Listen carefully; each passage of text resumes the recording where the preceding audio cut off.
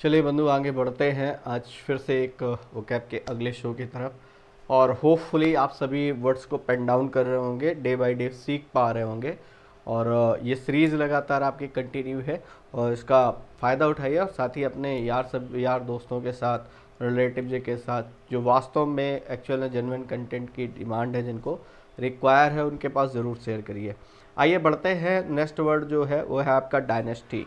One word substitution के series को आगे कंटिन्यू करते हैं। होपफुली, ठीक है? आपको ये वर्ड याद हो रहे होंगे मेमोराइज कर पा रहे होंगे आप।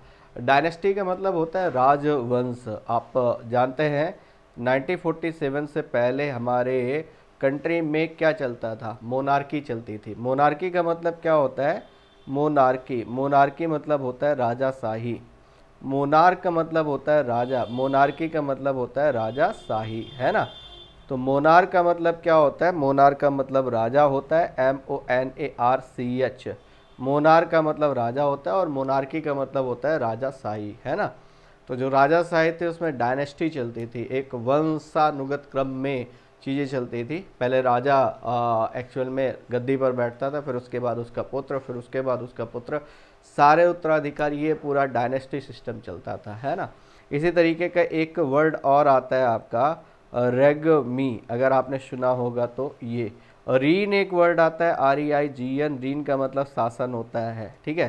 तो रीन है रेगमी रेगमी का मतलब शासन काल रेगमी का मतलब होता है शासन काल और मोनार्की मतलब राजा शाही अब देखिए, वर्ड तो आपने बेसिकली एक ही डिस्कस किया है, लेकिन उस वर्ड से कितनी चीज़ें मैं निकाल पा रहा हूँ।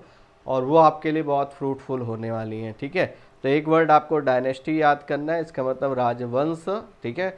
फिर आपको मोनार्की समझना है मोनार्की का मतलब राजा शाही मोनार्क केवल याद रखिए मोनार्की याद हो जाएगा। मोनार्क का मतलब होता है राजा, और मोनार्की मतलब जो राजा के द्वारा चलाई गई सिस्टम व्यवस्था है पूरी, उसको हम मोनार्की बोलते हैं, ठीक है? राजा शाही बोलते हैं। और इसी तरह मोनार का मतलब हो गया राजा। मोनार का मतलब हो गया राजा। तो कई बार आपको स्टेटमेंट देगा the government by king or queen दोनों के लिए ध्यान रखिएगा। ऐसा नहीं केवल राजा के लिए, रानी के लिए अलग है, ऐसा नहीं है। दोनों के लिए सेम है। राजा की बात करें या रानी की बात करें दोनों के लिए एक ही वर्ड यूज़ करते हैं आप मोनार्की राजा, शाही। आर के मतलब रूल होता है मोनार्क मतलब राजा होता है तो दोनों को मिला दिया तो बन वर्ड क्या बन गया? मोनार्की बन गया। होपफुली समझ में आ गया होगा। रेगमी मतलब होता है शासन काल आपको कुछ ना समझ में आए तो आप as it is in word को नोट कर लीजिएगा तो आपको याद रहेंगे। और याद भी नहीं करने, आपको बस रिवाइज करना है एक बार पढ़ने के बाद। और रीन का मतलब शासन होता है। रीन का मतलब क्या होता है? शासन होता है है ना? टेन्योर एक वर्ड आता है टेन्योर का मतलब होता है, ठीक है, ये समय होता है टाइम ड्यूरेशन टाइम ड्यूरेशन ठीक है, ये, जिस समय कोई व्यक्ति राजगद्दी पर है तो वो जो शासन काल है, उसको टेन्योर बोलते हैं, है ना? तो टेन्योर का मतलब जानते हो आप? शासन काल, वो टाइम अवधि, वो टाइम ड्यूरेशन है। तो ये बहुत सारे वर्ड हैं, देखिए टू हो गया थ्री हो गया फोर हो गया फाइव हो गया, और ये आपका कौन सा हो गया? टेन और सिक्स हो गया। वो कैब तभी याद होती है जब आप वो कैब को रिलेट करते हो, है ना? वो कैब ऐसे नहीं याद होगी कि एक वर्ड और उसका अर्थ याद करने बैठ गए, है? और नहीं याद होने वाली है। आप उससे रिलेटेड वर्ड्स को खुद एक्सप्लोर करने की कोशिश करिए। जैसे मैं एक वर्ड को लेकर के इतने सारे वर्ड आपको बता रहा हूँ, वैसे आपको खुद से ये काम करना होगा, तब आप और बेहतर सीख पाएँगे। चलिए फ़िलहाल आगे बढ़ते हैं। तो ये क्या है? Succession of rulers belonging to one family एक ही फैमिली से जो लगातार एक वंश राज्य करता है, उसी को डायनेस्टी बोलते हैं, है ना? जैसे आप मुगल डायनेस्टी की बात करते हैं, ठीक है? मौर्य डायनेस्टी की बात करते हैं, है ना? तो ये क्या है? मुगल साम्राज्य, मौर्य साम्राज्य, है ना? गुप्त साम्राज्य है। गुप्ता डायनेस्टी आपने सुना होगा। गुप्त वंश है ना? तो इस तरीके से हिस्ट्री में आप बहुत सारी डायनेस्टीज के बारे में बात करते हैं। अगला है आपका हाईजेक हाईजेक करने का मतलब क्या होता है? हाईजेक कर लेना, खासतौर से एरोप्लेन के लिए आप यूज़ करते हो, है ना? तो एरोप्लेन को क्या कर लिया? हाईजेक बन, कर लिया, बंदी बना लिया, है ना? इसका मतलब है जो किडनैपर्स हैं या यूँ कहे कि कई सारे जो क्रिमिनल्स टाइप के लोग हैं, उन्होंने क्या किया है, ठीक है? पूरे बस को या पूरे एरोप्लेन को या किसी व्हीकल्स को पूरी तरीके से हाईजैक कर लिया मतलब पूरे तरीके से अपने कंट्रोल में ले लिया है है ना? और इसी तरीके से वर्ड एक आता है आपका किडन नैप किडनैप। किडनैप, है ना? किडनैप करने का मतलब अपहरण करना होता है, कुछ उसी से मिलता जुलता वर्ड है। और किडनैप के लिए एक वर्ड आता है आपका अबडक्ट कौन सा वर्ड आता है? अबडक्ट, है ना? तो ये ध्यान रखिएगा, दो तो तीन तीन वर्ड। हाईजेक के बारे में अब आपको समझ में आ गया होगा। सीज करने का मतलब कन्फिस्केट करना होता है। इस सीज करने का मतलब कन्फिस्केट, जब्त कर लेना, कंट्रोल कर लेना। तो कह रहा है control of a vehicle in order to force it to go away a new destination or demand something और वो जैसा कहेंगे, फिर वैसा होगा हाईजेक करने के बाद। तो यहाँ पर एक नया वर्ड है, उसको भी समझ लीजिए seize S E I Z E seize करने का मतलब जब्त कर लेना होता है। इसका मतलब होता है जब्त कर लेना। मतलब क्या करना? कन्फिस्केट करना।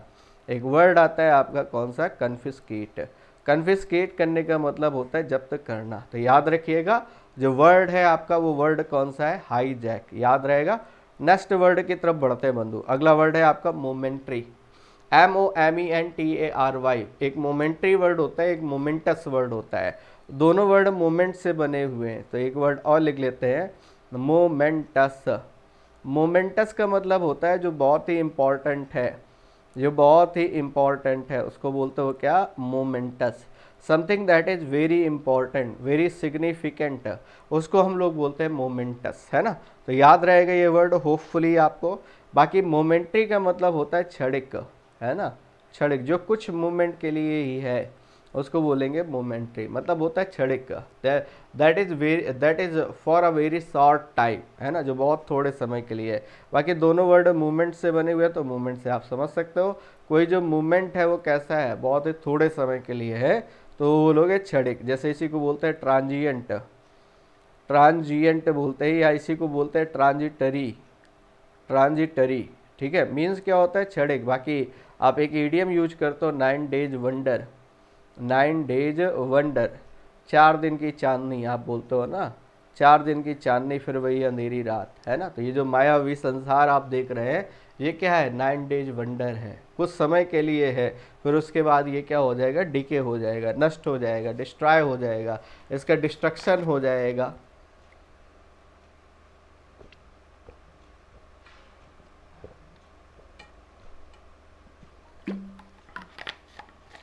चलिए, फ़िलहाल आगे बढ़ते हैं। तो मोमेंटस मतलब क्या हो गया? इंपॉर्टेंट हो गया। कोई मूवमेंट जो बहुत ही मोमेंटस है, बहुत ही इंपॉर्टेंट है।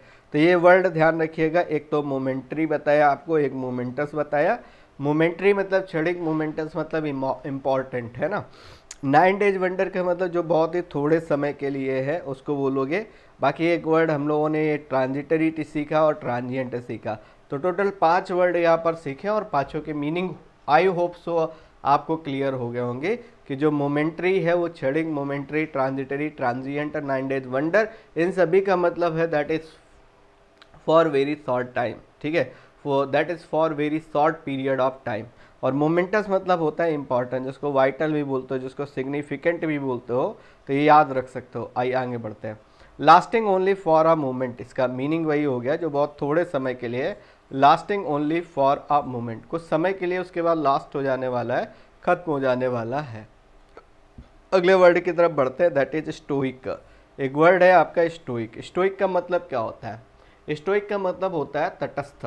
तटस्थ का मतलब जानते हो आप, जो सुख और दुख में बिल्कुल एक समान सिचुएशन में रहने वाला व्यक्ति है, उसको हम लोग स्टोइक बोलते हैं, तटस्थ बोलते हैं, है ना? तो ध्यान रखिएगा स्टोइक का एक वर्ड एक मीनिंग होता है आपका तटस्थ। जो एक समान रहने वाला है, हर सिचुएशन में सेम रहने वाला है, वो कैसा है? तटस्थ है, चाहे सुख हो या दुख हो, है ना? तो जैसे ये हमारे लाइफ का सर्कल होता है, कैसा सर्कल होता है कि ये कुछ अप्स आते हैं, कुछ डाउन्स आते हैं, फिर अप्स आते हैं, फिर डाउन्स आते हैं, फिर आप अप्स आते हैं, फिर डाउन्स आते हैं। ऐसे आपके एक लाइफ की साइकिल चलती है। लेकिन एक ऐसा पर्सन जो पूरे सिचुएशन में एक समान रहता है, इस बीच वाली लाइन को फॉलो करता है। ये खुश मतलब बहुत ज़्यादा लाभ होने पर बहुत खुश नहीं होता और बहुत नुकसान होने पर बहुत ज़्यादा दुखी नहीं होता। तो इस तरीके का पर्सन स्टोइक होता है, तटस्थ होता है। एक शब्द में बोलोगे, तटस्थ। तटस्थ का मतलब हो जाता है न्यूट्रल हो जाना अनबायस्ड हो जाना, है ना? तो इसी का मीनिंग आप कहोगे क्या? न्यूट्रल हो जाना। जैसे आप बोलते हो ना, कोई व्यक्ति जिसको नया नया, ठीक है, दिल लगा है कहीं पर, है? तो वो कैसा होगा? बिल्कुल एक अलग जोन में होगा, एक अलग सिचुएशन में होगा। लेकिन वहीं पर बेचारा किसी के साथ, ठीक है, किसी ने धोखाधड़ी कर दी, है? किसी का दिल टूट गया तो वो कैसा हो जाएगा? बहुत उदास हो जाएगा, बड़ा सेंटिमेंटल हो जाएगा। लेकिन वहीं पर एक ऐसा व्यक्ति जो कैसा होगा, कोई लाइफ में आ गया या लाइफ में चला गया, वो कैसा होगा, वो बिल्कुल स्टोइक टाइप होगा, तटस्थ टाइप होगा, उसको कोई फ़र्क नहीं पड़ने वाला है। ठीक है? कौन आ रहा है, कौन जा रहा है? तो होपफुली ये वर्ड आपको याद रहेगा। स्टोइक का मतलब हो गया तटस्थ। और ये देखिएगा, इसी में एक वर्ड मैं और लिख दे रहा हूँ स्टोइसिस्म मान लिया एक वर्ड ये लिखा है स्टोइसिस्म ये क्या होता है बंधु? ये भी बिल्कुल आसान सा वर्ड है। आईएसएम लास्ट में लगता है तो ये अब्स्ट्रैक्ट नाउन बन जाता है। तो इसका मतलब होता है तटस्थता। तटस्थता का मतलब है न्यूट्रलिटी वाली जो क्वालिटी है। जैसे भगवान कृष्ण भी यही बात सिखाते हैं गीता में, क्या? कि वन शुड बी स्टोइक इंसान को कैसा होना चाहिए? स्टोइक होना चाहिए, तटस्थ होना चाहिए, ठीक है? उसको अनबायस्ड नहीं होना चाहिए, ठीक? उसको अपैथेटिक होना चाहिए, है? तो ये बात ध्यान देना स्टोइक है, या फिर इसी को एक शब्द में आप पैथेटिक आप कहते हो। जो, जिसको फ़र्क ही ना पड़े, जो कैसा है इनडिफरेंट है। इनडिफरेंट का मतलब है उदासीन है। ठीक है तो ये सभी वर्ड हैं, ध्यान रखिएगा। एक वर्ड तो आपका स्टोइक है, दूसरा वर्ड स्टोइसिस में इसका एब्स्ट्रैक्ट नाउन बन गया। और ये एडजेक्टिव है। ये एडजेक्टिव है, ये एब्स्ट्रैक्ट नाउन है। बाकी एक तीसरा वर्ड अपैथेटिक चौथा वर्ड आपका, ये पांचवा वर्ड न्यूट्रल है ना? तो ये वर्ड ध्यान रखिएगा। ठीक होपफुली समझ में आ गया होगा। तो कह रहा है one who is indifferent to pleasure और पेन जो इनडिफरेंट रहता है, कब? प्लेजर और पेन में, दोनों सिचुएशन में एक समान रहता है, वो कैसा स्टोइक है? बाकी एक चीज़ यहाँ पर और नोट कर लीजिएगा कि इनडिफरेंट के साथ जो प्रीपोजिशन लगता है, वो कौन सा लगता है? टू लगता है। इनडिफरेंट टू ध्यान रखिएगा। एक वर्ड मैं यहाँ पर लिख दे रहा हूँ इनडिफरेंट और इनडिफरेंट के साथ आप सही प्रपोजिशन कौन सा यूज़ करते हैं? दैट विल बी टू तो इनडिफरेंट टू है ना? तो प्रपोजिशन कई बार पूछ लेता है तो वो बात भी आपको ध्यान रखनी है। फ़िलहाल बढ़ते हैं अगले वाले वर्ड की तरफ़ गैस्ट्रोनॉमी नॉमी का मतलब नेमिंग है। नॉमी अगर कहीं पर लगाते हो तो उसका मतलब नेमिंग होता है। गैस्ट्रोनॉमी का मतलब होता है एक तरीके से जो आ, कह सकते हो पाक कला है। पाक कला का मतलब आप जानते हो जो एक कुकिंग मेथड है उसको बोलते हैं गैस्ट्रोनॉमी जिसको नाम दिया गया है। गैस में जो नेम रखे गए हैं गैस मतलब ये रसोई गैस की बात कर रहे हैं, आप ऐसे याद कर सकते हो, है ना? तो गैस्ट्रोनॉमी का मतलब है, जो गैस पर चीज़ें यूज़ की जाती हैं, या जो भी फ़ूड बनाया जाता है, उसको जो नाम दिया जाता है, उसको गैस्ट्रोनॉमी बोलते हैं। तो एक पहले इसका स्टेटमेंट देख लीजिएगा।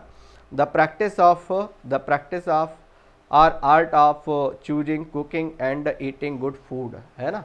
तो इसको बोलते हैं गैस्ट्रोनॉमी। बाकी आपने एक वर्ड सुना होगा कजीन ठीक है? अगर आपको याद आ रहा हो C U I S I N E cuisine का मतलब क्या होता है? ये एक एक तरीके से कह सकते हो जो फ़ूड बनाने की की कला है, उसको कजीन बोलते हैं ना?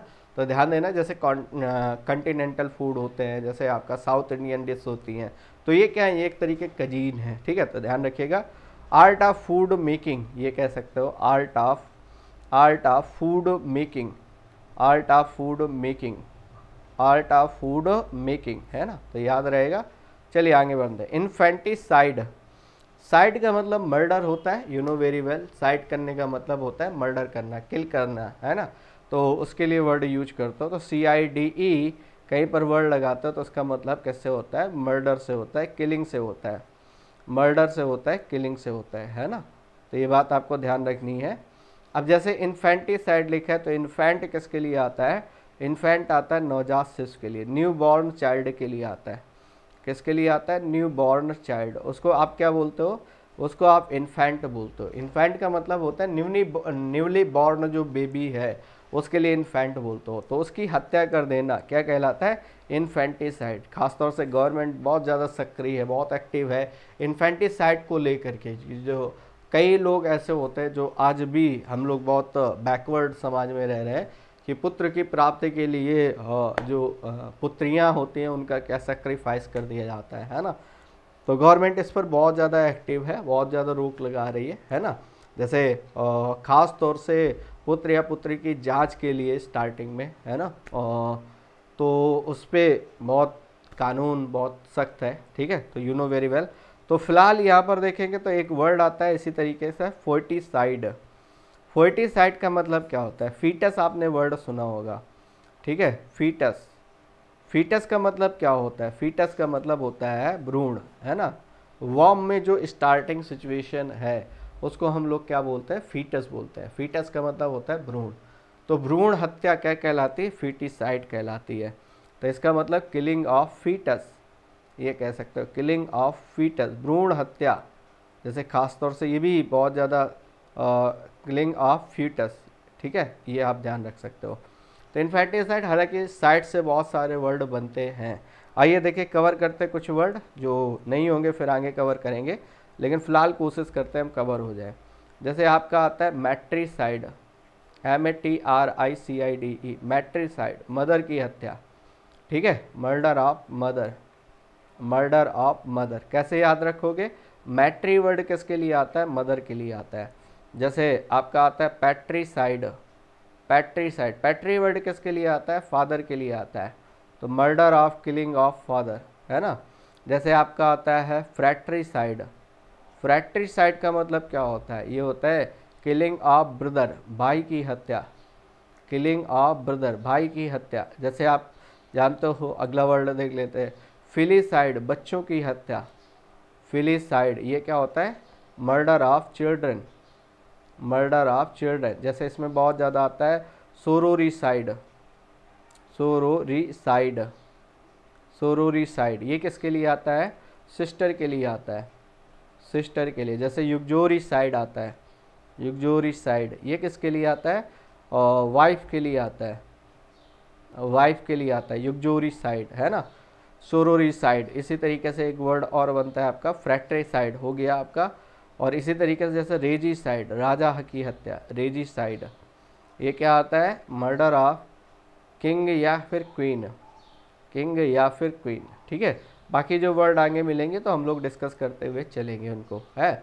जैसे इसी में से एक वर्ड आपका आता है कैनी साइड अगले वर्ड की बात करें तो ये क्या है आपका? कैनी साइड और कैनी साइड का मतलब क्या होता है? किलिंग ऑफ़ अ डॉग ठीक है? किसी कुत्ते की हत्या, है? जैसे आप होमी साइड की बारे में बात करते हो होमी साइड होमी वर्ड किसके लिए आता है? मैन के लिए आता है, ह्यूमन के लिए आता है। और अगर आपको जानकारी है तो ठीक है एच एम या एच यू एम किसके, किससे रिलेट करते हैं? ये रिलेट करते हैं या तो अर्थ से, या तो अर्थ से, या फिर ये रिलेट करते हैं किससे? मैन से, ह्यूमन से।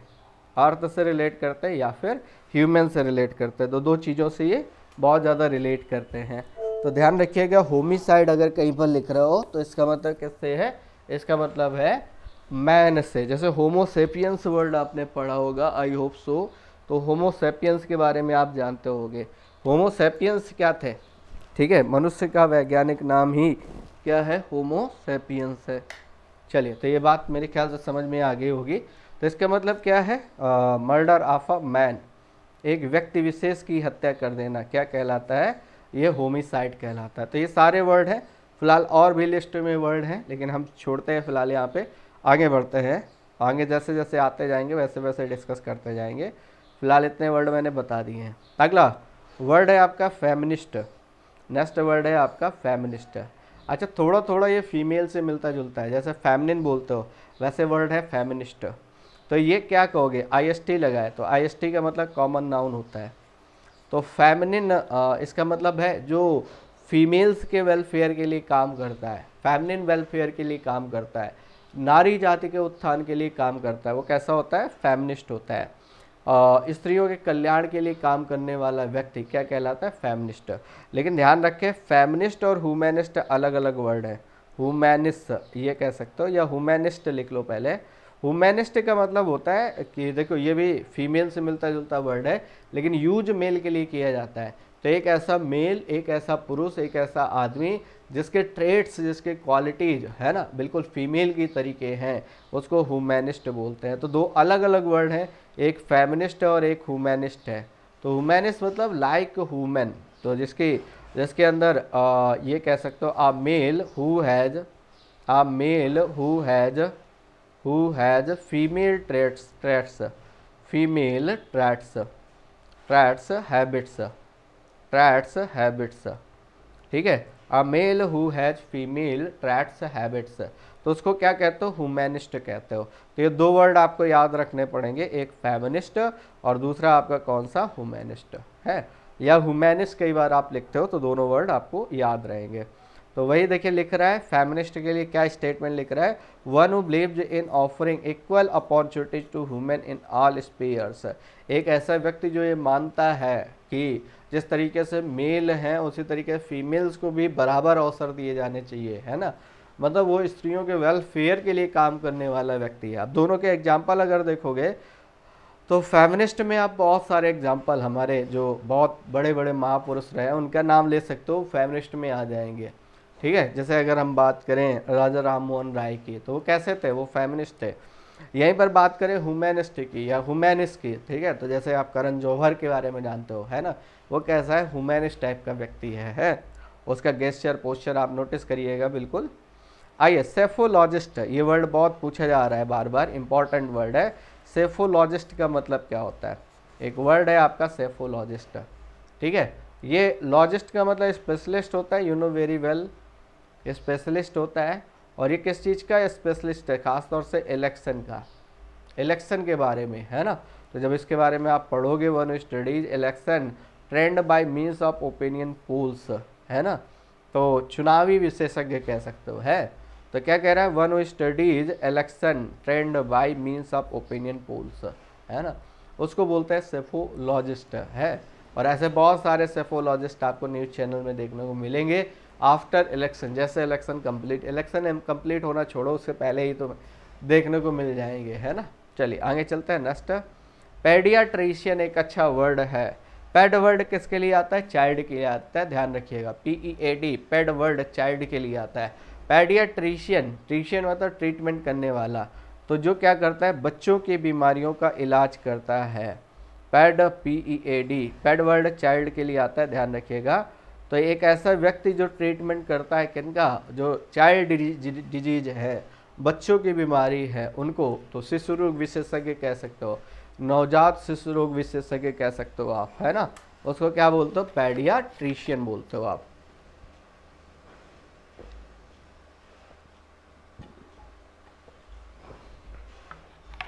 चलिए, फ़िलहाल आगे बढ़ते हैं। तो ये बात क्लियर हो गई। स्टेटमेंट देख लीजिएगा। A doctor who treats children एक ऐसा डॉक्टर जो बच्चों की ट्रीटमेंट करता है, बच्चों को ट्रीट करता है, ठीक है, शिशु रोग विशेषज्ञ कह सकते हो आप इसको। आइए आगे चलते हैं। विजियोनरी विजियोनरी का मतलब होता है दार्शनिक, जिसके पास विजन है, दूर को देखने का विजन है, वो कैसा है? विजियोनरी है। दार्शनिक प्रवृत्ति का है? जो फ्यूचर को प्रेडिक्ट करने की प्रेडिक्ट करने की क्वालिटी रखता है प्रेडिक्ट करने की एबिलिटी रखता है, वो विजियोनरी है। जिसके पास विजन है, ऐसे याद कर सकते हो। जिसके पास विजन है कि वो फ्यूचर को पहले से देख ले, वो विजियोनरी है। तो क्या कह सकते हो? One who thinks one who can thinks think अगला स्टेटमेंट है one who can think about the future with imagination and wisdom जो अपनी इमेजिनेशन और विजडम के दम पर फ्यूचर को प्रेडिक्ट कर देता है या फ्यूचर के बारे में सोच सकता है, वो कैसा है? विजियोनरी है है ना? तो दार्शनिक है, ये कह सकते हो। रेसिप्रोकेट एक वर्ड है। आपने पढ़ा होगा रेसिप्रोकल प्रोनाउन मैंने कहा था ऐसा प्रोनाउन जिसमें क्या करते हैं हम? एक्शन को रेसिप्रोकेट करते हैं। जैसे पहले के समय में हमारे पास क्या नहीं होता था? करेंसी नहीं होती थी। लोग क्या करते थे? बार्टर सिस्टम अपनाते थे। बार्टर सिस्टम का मतलब होता है बंधु कि जैसे किसी व्यक्ति के पास चावल है राइस है, दूसरे के पास गेहूँ है तो वो क्या करते थे? करेंसी तो थी नहीं तो वो क्या करते थे? आपस में रिसिप्रोकेट कर लेते थे। वो कुछ चावल उसको देता था, कुछ गेहूँ या अनाज उससे ले लेता था। तो इसका मतलब क्या है? रिसिप्रोकेट करना। इसी चीज़ को बोलते हैं हम रिसिप्रोकेट आदान प्रदान, है ना? तो इसी को बोलते हैं barter system barter barter word कई बार पूछा जाता है तो ध्यान रखिएगा बार्टर मतलब होता है एक्सचेंज करना। बार्टर का मतलब होता है एक्सचेंज करना। E X C H A N G E exchange करना, है ना? बार्टर मतलब होता है एक्सचेंज। जो एक्सचेंज करने का सिस्टम है, उसी को बार्टर सिस्टम कहते हैं, उसी को रेसिप्रोकेट कहते हैं। रेसिप्रोकल आपने सुना होगा। तो रेसिप्रोकल, या इसी को एक वर्ड और बोलते हैं, mutual. M U T U A L mutual. Mutual इसी को बोलते हैं। तो ध्यान रखिएगा, रेसिप्रोकेट है रेसिप्रोकेट है, बार्टर है, एक्सचेंज है, या फिर म्यूचुअल है, इतने सारे वर्ड हैं आपके इस टाइटल के लिए next give and receive mutually तो सेम स्टेटमेंट लिख रहा है गिव एंड रिसीव म्यूचुअली है ना? आपस में आदान प्रदान करना ही रेसिप्रोकेट कहलाता है रेसिप्रोकल कहलाता है म्यूचुअल कहलाता है बार्टर कहलाता है एक्सचेंज कहलाता है। इतने वर्ड हैं आपके पास ऑडिटोरियम जहाँ पर ऑडियंस बैठती है, उसको बोलते हैं ऑडिटोरियम तो आप place where audience sit audi देखिए, इसमें ऑडियो ऑलरेडी मिल रहा है। तो ऑडियो मतलब होता है लिसनर्स जो सुनने वाले हैं, है ना? तो a place where audience sit उसको बोलते हैं, सभागार जिसको बोलते हो आप। एक तो वो जगह होती है जहाँ पर स्पेक्टेटर होते हैं, देखने वाले होते हैं। एक वो जगह होती है जहाँ पर सिर्फ़ सुनने वाले हैं लिस्नर्स हैं टोटल है ना? तो उसको बोलते हैं auditorium I U M normally place को बताता है बात ध्यान देना। आई यू एम नॉर्मली किसको बताता है? प्लेस को। तो आप यहीं से डिफाइन कर सकते हो। A building a building where where an audience sets एक ऐसी जगह जहाँ पर ऑडियंस बैठते हैं, उसको ऑडिटोरियम बोलते हैं। ऑडियो से याद रखिएगा ऑडिटोरियम याद रहेगा आपको नेक्स्ट प्रोरोटाइप आज का आखिरी वर्ड है प्रोरोटाइप इसके बारे में बात करते हैं। प्रोरोटाइप का मतलब होता है किसी चीज़ की एक छोटा सा, आप कह सकते हो मॉडल है किसी चीज़ का। वो प्रोटोटाइप है। First model of a new device किसी डिवाइस का कोई नया मॉडल है नया नया मॉडल आया है। वो क्या है? प्रोटोटाइप है। वो क्या है? प्रोटोटाइप है। तो किसी एक तरीके का टाइप का, ठीक है, कोई मॉडल है जो रिसेंट में कोई बिल्कुल नई चीज़ आई है, उसका कोई नया नया model that is card a prototype तो ये इसको याद करना आसान है टाइप से याद कर सकते हो आप। प्रोटोटाइप मतलब क्या हो गया? A model of any new device है ना? उसको बोलेंगे आप क्या प्रोटोटाइप तो याद रहेगा बंधु, फ़िलहाल चलिए। तो फ़िलहाल आने वाले सेशन में यहीं तक रखते हैं। कल हम लोग फिर से अगेन इन्हीं के आगे वाले वर्ड्स को फिर से आगे करेंगे कंटिन्यू डेली बेसिस पर अपना नोट्स ज़रूर बनाते चलिए, ठीक है? और चूँकि नोट्स अगर बनाते चलेंगे तो आपके लिए सेशन बहुत ज़्यादा फ्रूटफुल होने वाले हैं। चले फिर लाल बंदे, बंधु, मिलते हैं नेक्स्ट सेशन में, तब तक के लिए आप सभी को जय हिंद, थैंक यू क्लास।